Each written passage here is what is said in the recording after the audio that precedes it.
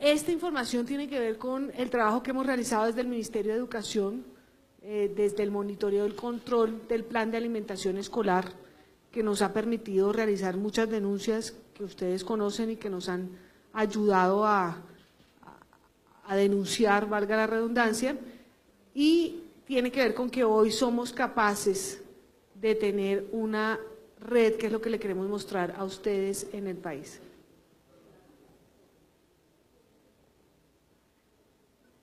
¿Cómo esta red tiene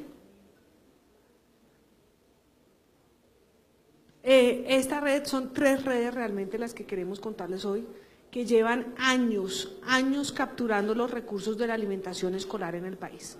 Dos de ellas se encuentran en la costa atlántica y en, en, los Santanderes y una específicamente actúa en norte de Santander con un brazo en Córdoba. Entonces vamos a explicar con el viceministro cómo funciona esta primera red o estas redes que están en la costa caribe y en, norte, en los Santanderes. ¿Quiénes están detrás? Para que ustedes tengan nombres y creo que ese es uno de los avances que tenemos nosotros con esta investigación para entregar a los organismos de control. Una primera red en la región Caribe está conformada por la señora Katia Rosado, Ibis Rosado y María Angélica Araujo. Una segunda red también en la costa caribe está conformada por Adiela Álvarez y Hugo Mario Álvarez.